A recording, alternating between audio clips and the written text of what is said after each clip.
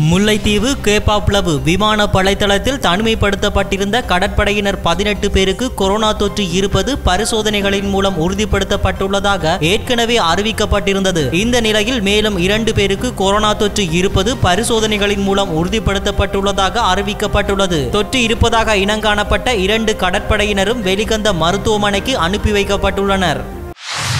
இலங்கை படையினர் யுத்த குற்றங்களில் ஈடுபட்டனர் என எந்த உத்தியோகபூர்வ ஆவணமும் நிரூபிக்கவில்லை எனவும் ஜனாதிபதி ஊடகப் பிரிவு தெரிவித்துள்ளது. இலங்கை ராணுவ தளபதி யுத்த குற்றச்சாட்டிற்கு உள்ளான ஜெனரல் என தெரிவிக்கப்படுவதும் மிகவும் நியாயமற்றது எனவும் ஜனாதிபதி ஊடகப் பிரிவு தெரிவித்துள்ளது.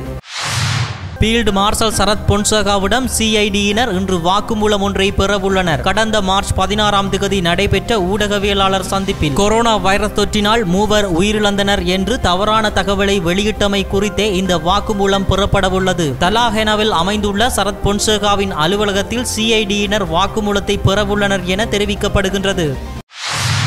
விளக்கமறியலில் வைக்கப்பட்டுள்ள முன்னாள் அமைச்சர் ராஜித சேனாரத்னாவுக்கு மேற்கொள்ளப்பட்ட பிசிஆர் சோதனை அறிக்கை இன்று வெளிவரும் என்று தெரிவிக்கப்படுகின்றது. முன்னாள் அமைச்சர் ராஜித சேனரத்ன நீர்கொழும்பு பல்லன் சேன தனிமைப்படுத்தல் நிலையத்தில் தனிமைப்படுத்தலுக்கு உட்படுத்தப்பட்டுள்ளார் என சிறைச்சாலைகள் திணைக்களம் தெரிவித்துள்ளது.